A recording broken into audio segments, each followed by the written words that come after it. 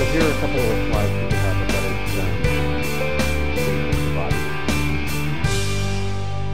um, Some of this might be a bit of review from an elementary school uh, science uh, class, but it's worth going through a couple of these basic points so that you uh, have a better understanding when you get into use the technology for audio recording. You'll know um, a bit more about the background. Sound is a form of kinetic energy. What does it mean if something's kinetic? It moves, right? Sound is moving. Something has to move for sound to be created. It's a series of vibrations. That much I'm sure you know, right? All of you had a slinky when you were a kid, maybe at some point? No? One of these little things? Right? Big coil, and you could bounce it back and forth, and if you got really clever with it, you could put it at the top of the stairs and it would collapse its way all the way to the bottom of the stairs. That is similar to sound in the sense that you have that series of vibrations or that movement along the coil all the way from one end to the other. So when you get a sound source that vibrates, it transfers its energy into the surrounding air particles. Imagine holding a little pebble above this pool here, and as I drop the pebbles in, it strikes the water, breaks the surface tension, and then it causes that wave to radiate out from the center. As I'm gabbing away to you here. The same sort of thing is happening. My vocal cords are vibrating. That moves the air around in my throat. I open up my mouth, and that sound wave travels through the air, okay, and then hits your ear.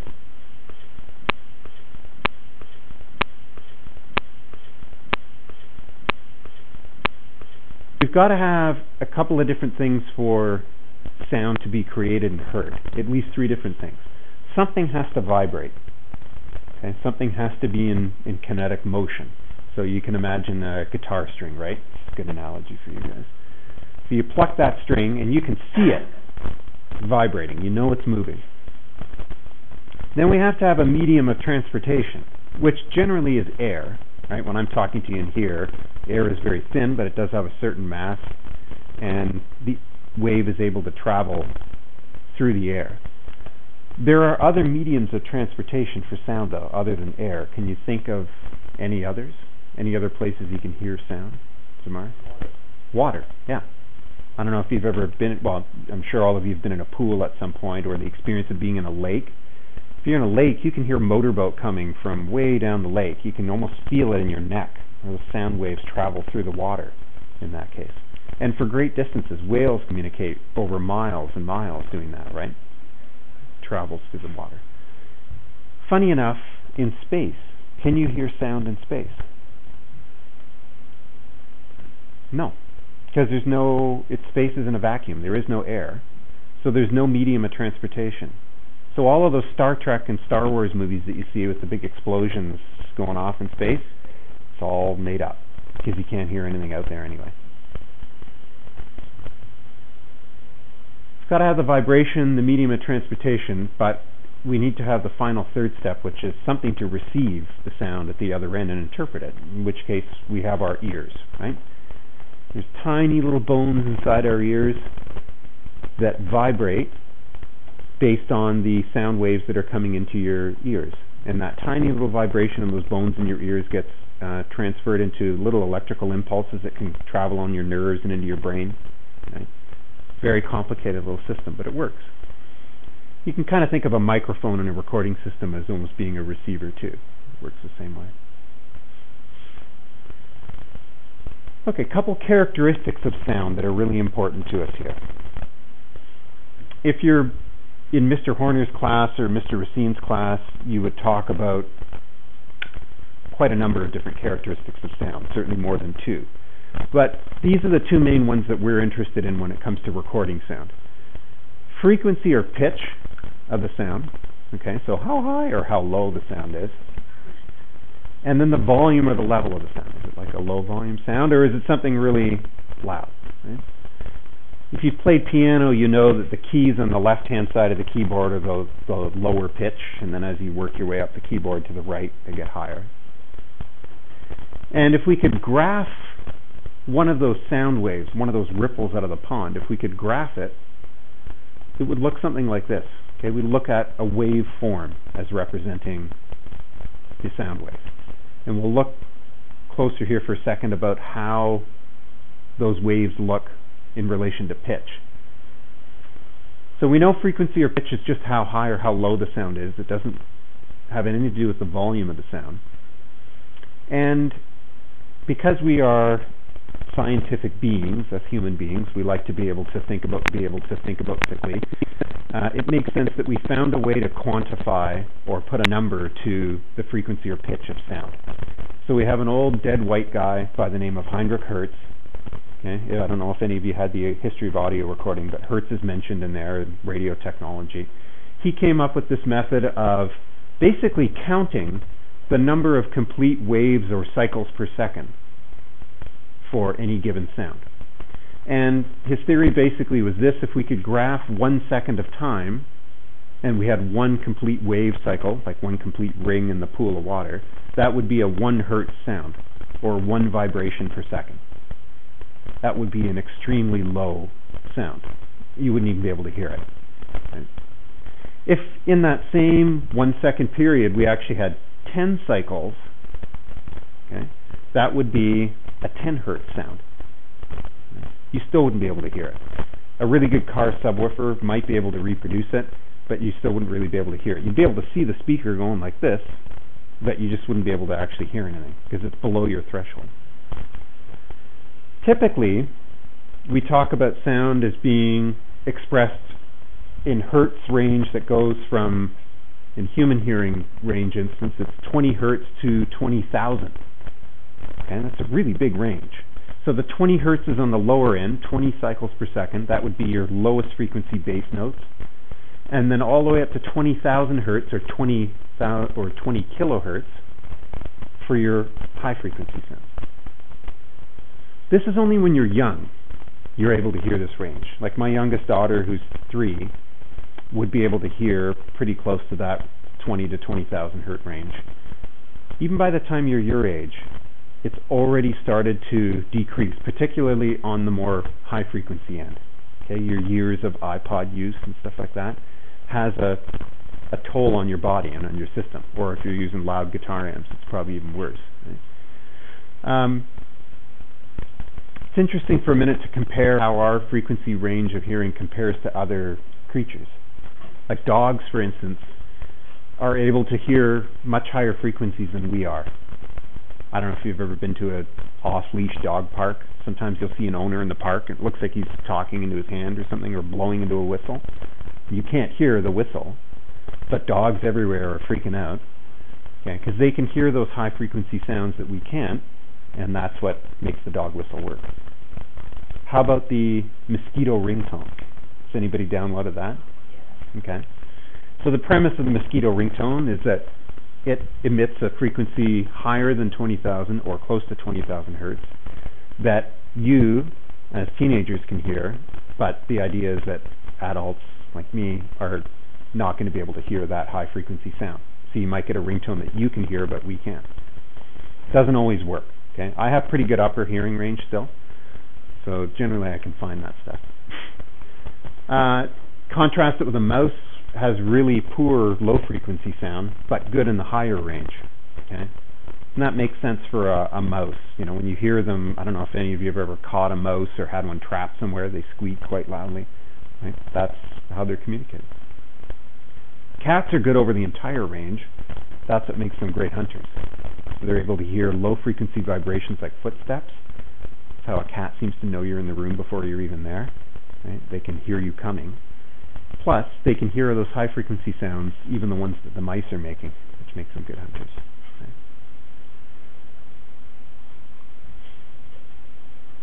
So that was the first characteristic, the frequency or pitch.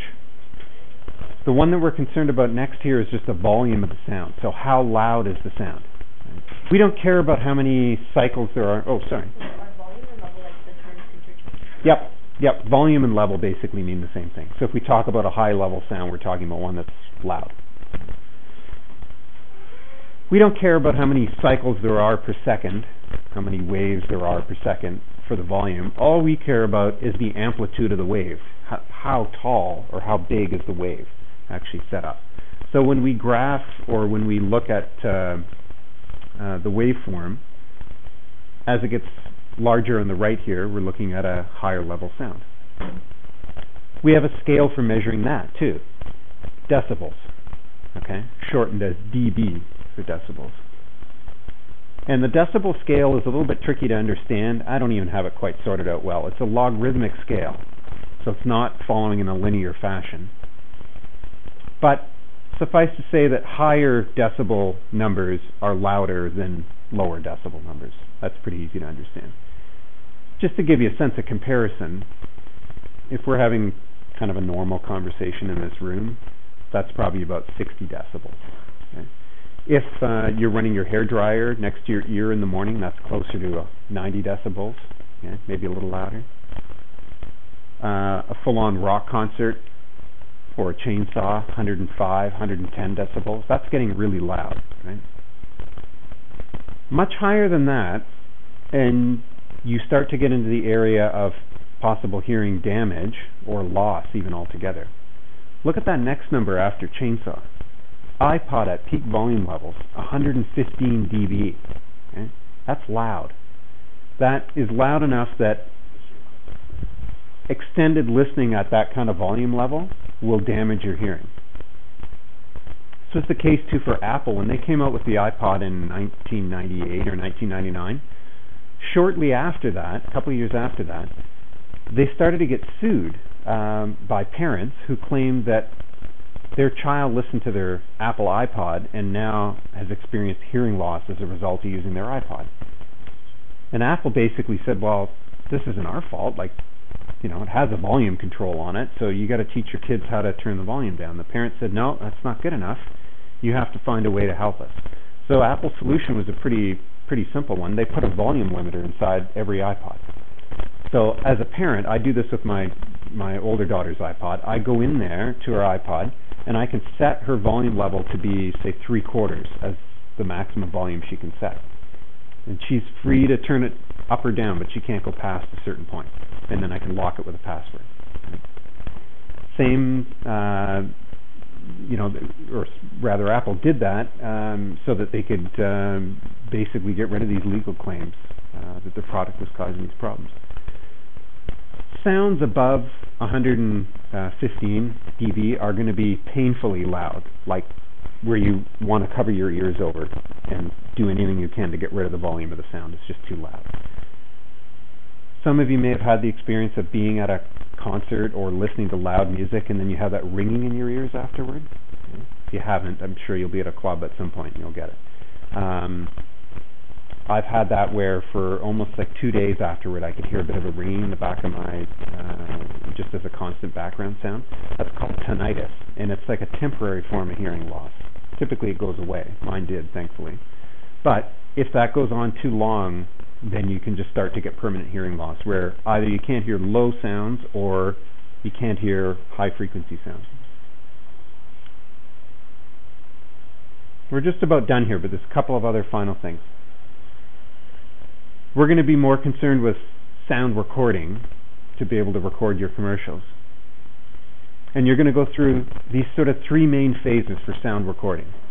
Here's a picture of kind of a typ- typical studio setup with a musician working away, microphones in place for receiving sound, big mixing console in the corner there. We'll talk about what that is in a minute. They're also working in uh, a room here that's got wood on the walls, and then we see some kind of acoustical padding along the walls in the back there. That's in an effort in the wood. In the case of the wood, it's reflecting sound. Okay, it bounces off there. In the case of the foam areas here, it's absorbing sound to deaden it. All of the rooms that we work in here, including the sound room, have that spaghetti material on the walls. That helps deaden sound so that it doesn't echo unnecessarily. But we've got these three main stages we're going to go through. Input, process, and output. So the input stage is where you're collecting sound. So any equipment that creates sound that can be recorded is an input device. A microphone, CD player, uh, an instrument like a keyboard or a guitar. Even your iPod or a computer could be considered an input device because you could hook an iPod up to a recording system and record from the headphone jack of the iPod. So lots of different input devices. You'll be using the microphone, obviously, uh, and maybe an instrument if you really wanted to. second stage is sound processing. So what happens after we have the sound come in from those input devices? All kinds of different processing devices. Some of them just make sounds louder, like amplifiers. Okay? Amplifier will take the low volume signal from a small microphone or the low volume signal from your iPod, for instance, and it will amplify it and make it louder. So that's a processing device. These get pretty complicated, right? If you're looking at home theater setups, they have, you know, 7 or up to now 9.1 channels surround sound, right? This device in the middle here is a mixing console. There's one in each of the audio rooms that we have here, although you're not really going to be using it. We use more of a virtual version inside the computer. But the mixing console, particularly for live sound, like at a concert, is really important because this is the processing device that lets you mix and blend all the different sounds together. So mixing consoles typically will have these big sliding buttons at the bottom called faders. And each one of those faders will control the volume of an input device. So in this mixing console here, I'm going to guess it has about 18 faders or something. So we'd call it an 18 channel mixer. And we could have 18 different microphones and instruments all hooked up to that, and we could blend all those sounds together to create the mix. If you're at a concert again at some point, look for the sound guy. You'll always find the sound person about midway uh, through the audience, right dead center in the middle of the room, because that's the best listening spot. Okay, if you go to a movie theater or you get tickets for a concert, you want to get the sweet spot, they call it. That's middle of the room uh, and about midway from the back to the front of the room. That's the best sounding spot. So the audio guy will always be there fiddling with all those knobs. The other processing device we're going to use is um, the computer. We're going to use GarageBand to do our recording and our uh, mixing and blending of the sounds. Advantages to that, right, in the computer is that you have complete control. Sound comes in, sound gets processed, mixed together, amplified. Then we've got to output it. We have to do something with it generally. So any equipment that plays back sound or stores sound could be considered an output device, like a set of loudspeakers. Okay? They will take that signal from the amplifier and convert the electrical signal in the amplifier back into something mechanical that you can hear, right? Because we know sound is kinetic. Something has to move. You know, wires don't move. Sound travels along the wire, but the wire itself, you can't put your ear up to the wire. Even if you put it really close to your ear, you're not going to hear anything You've got to have it hooked up to a loudspeaker. And so now we've got the diaphragm, the speaker that moves back and forth. That creates the sound again. Good loudspeakers have two different, at least two different drivers. Big ones called woofers for low frequency sound, and then smaller ones called tweeters that reproduce the higher frequency sounds. Hard with one speaker to reproduce the entire range. Headphones are nothing more than miniature speakers put inside plastic cans you can put in your ears. Okay? Even the earbuds for your iPod have a miniature speaker built inside there. And I mean like about the size of a pencil eraser tip inside one of those little earbuds that does actually move back and forth. Those are all for listening to sound. Devices that record sound can be considered an output device too. So uh, a blank CD or DVD, some kind of medium, or hard drive you can record onto. So we often consider an iPod or a computer an output device too, because we can send record sound back to it. Right? So we've got the input, process, output stage. For your quiz that comes up in about a week's time or so, go back through these slides when you're studying and just be familiar with um, the ways that we measure the volume of sound in decibels the way that we measure frequency and pitch in hertz. Okay? Uh, you can be just about guaranteed there'll be one or two quiz questions uh, around those topics.